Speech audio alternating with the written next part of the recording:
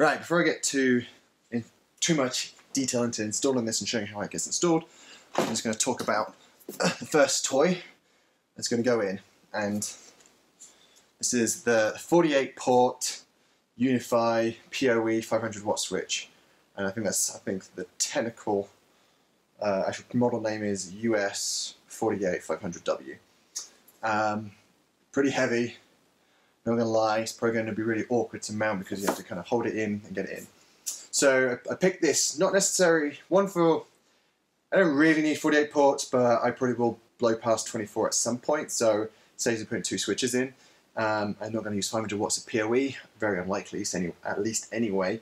Um, the main reason is actually the SPF Plus, um, which is a 10G uplink, or uh, you know, a switching port, and that was that was the main reason, to be honest with you.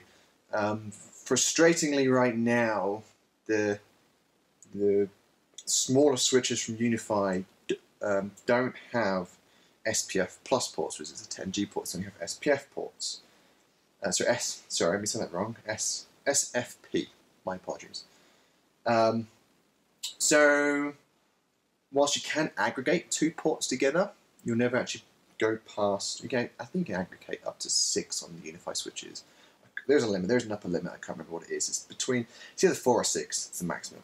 Either way, um, what whilst that will distribute packets across the two, you'll never have a single stream faster than the, the, the single link speed. So I can have four cables aggregated together between, say, the router and the uh, um, two switches, but you'll never actually blow past um, a single gig, a single stream going faster than one gigabit. So to get one to get 10G upload, to say if I plug another a 10G switch in, um, you actually have to, you actually have to have 10G uh, uplink, a physical cable to go that fast because you, you can't aggregate 10 cables to get to get 10G on a single connection. You can have 10 1 gig connections. Um, so whilst it's good for width, it's not good for single speed. And you say, well, what's the chances of you ever doing that? It's like, well, you know, if I put in a very fast disk SAN server, you know, a, a network drive for servers, um, you know, it is, it is pretty possible for it to go past 100 megabits a second. You know, SSDs can do 300, 400 megabits a second. So um, you would never be able to get the maximum performance from a one gigabit connection. That's why I wanted the 10G. Uh, this is a very long roundabout explanation. I'm sure someone can explain it much better than me. Um, but literally, the reason I went to the bigger switch is for 10G. Um, but yeah, so let's get on with installing it. All right, I'm going to try and give you give you as good view as possible. Um, but this is heavy, so I'm not quite sure how well I'm going to do without me kind of fumbling around in front of this. So let's get some screws ready to mount in the holes. Uh, oh, anyone that's just wondering, because sometimes it's not very clear, console port on the back, power on the back, and this is the older level 2 switch from U UniFi, so actually there's no interchangeable power supply uh, but the new one's coming out soon will.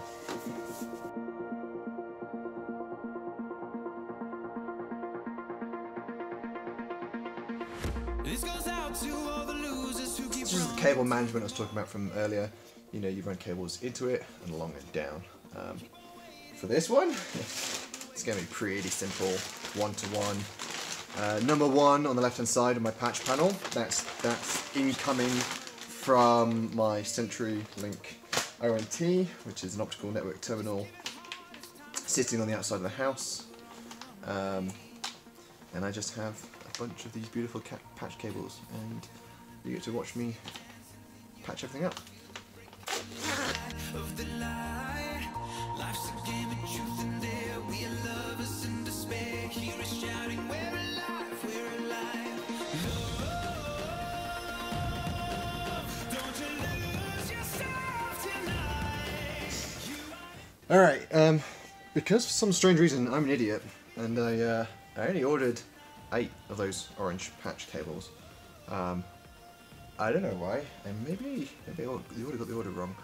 Um, I think I think that's me. I think I only ordered eight for some strange reason.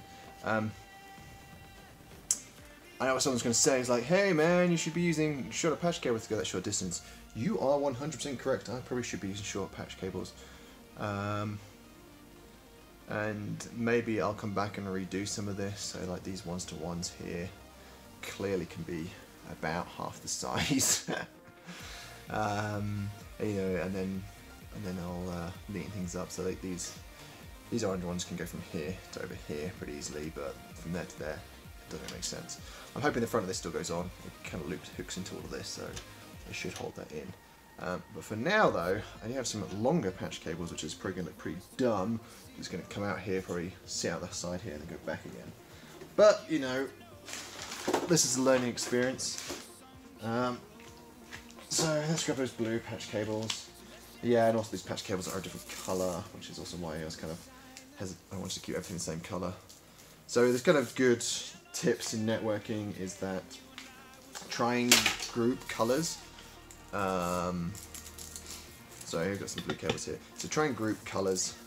Um, so try and group colours by uh, what they're doing or where they're coming from. So um, I was trying to keep orange as kind of um, like going out to places. So uh, you know, like you know, to, to the house, to the switch, you know, basically switching ports, nothing special.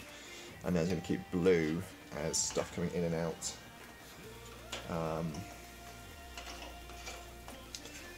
so like uplinks and blue and black is going to be uplinks and other stuff.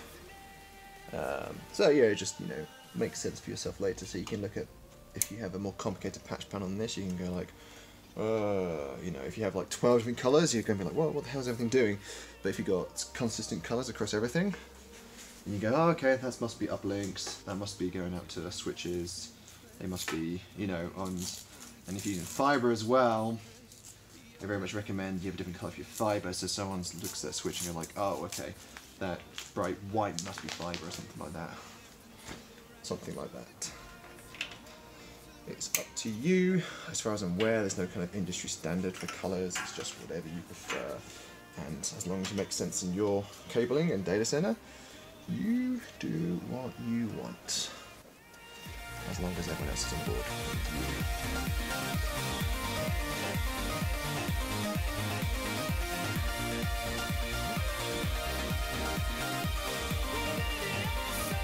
That's better. Not perfect, but it is better. Um, yeah, so I definitely need some short short cables go from here. These are, um, for reference, these orange ones are 0.3 meters. Um, so 30 centimeters.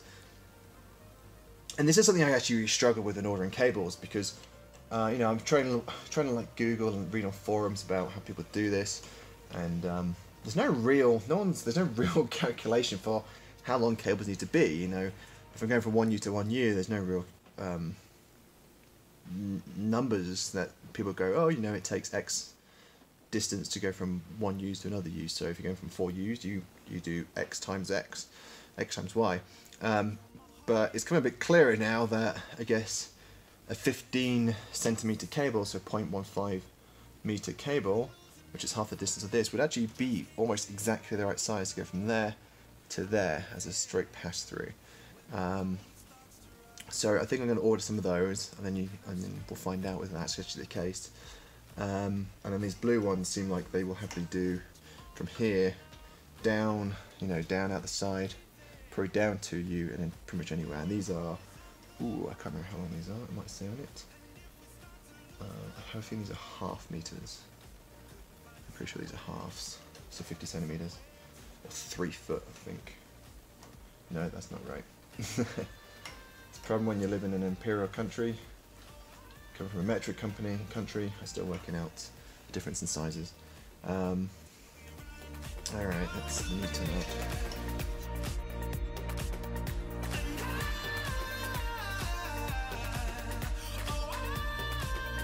Alright, not as nice as I like it, but that's the whole point of this, so I'll do a quick demo. This thing, literally, I think just clips on he says. Not actually trying it before recording it. Making himself look like an idiot. Oh, there you go. I was right. It just clips on. So, it, it is just a clip. So, if your cables are really pushing against this, it probably will push it off. But, I mean, come on. That, mean that looks this is a bit stupid, but that's my fault. I need to get short cables. But I look significantly neater than uh, just having cables dangling around everywhere. Um, and these things, yeah, these things are great. They're pretty cheap too, and I would seriously recommend it. So you know, the beauty thing is that this uplink's going to go from this one into here, all the way along here, outside, through some finger, some vertical fingers like on the back of the rack, into my, along another one, which is going to be here, and then into the uplink, actually the uplinks, on one end of the switch, I can't remember. Um, so really, on the front of it, you only see cables and lights, what you want to see, and then on the and then everything's hidden in between. So you can still read numbers, you know, can read the top of that easily. I can still see the numbers on this pretty easily. Um, yeah, it's pretty awesome. Alright, that's the end of the switch install. I'm going to come back and move on to the router install, which is cool because it's, it's the USG XG8, which is not being seen in the wild too much yet. Um, see you in the next video. Thanks for watching.